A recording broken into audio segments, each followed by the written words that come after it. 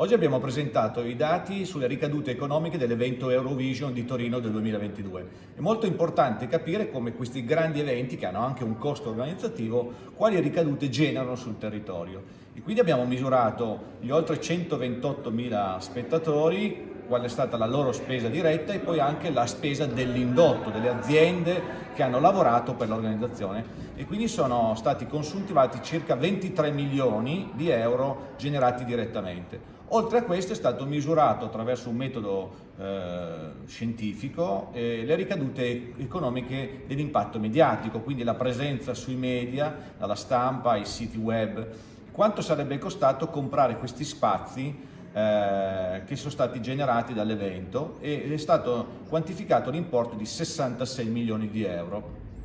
quindi 66 milioni più 23 milioni, oltre a, ai 161 milioni di telespettatori che hanno avuto sul loro schermo la città di Torino quella sera, che quindi questo credo una, avrà sicuramente una ricaduta eh, di consapevolezza, di branding della città di Torino a livello internazionale.